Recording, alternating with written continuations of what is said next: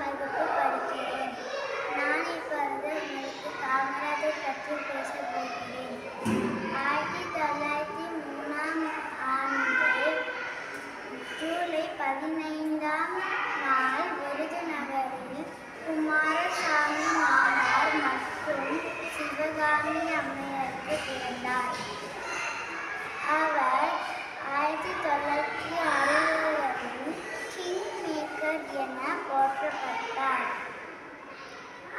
தனது ஆறாவது வயதிலேயே அவர் தந்தையை இழந்தார். அதற்கு பிறகு அவரது பள்ளி படிப்பினை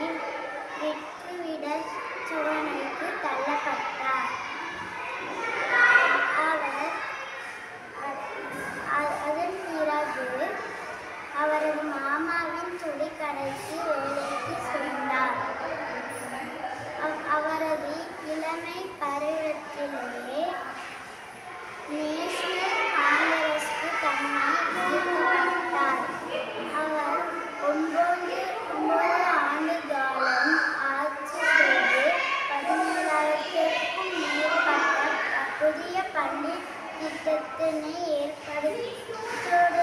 இல்லாமல்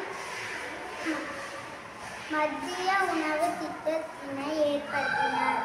ஆயிரத்தி தொள்ளாயிரத்தி எழுபத்தி அஞ்சாம் ஆண்டு அக்டோபர் ரெண்டாம் தேதி எழுபத்தி ரெண்டாம் வயதில் அவர் காலமானார்.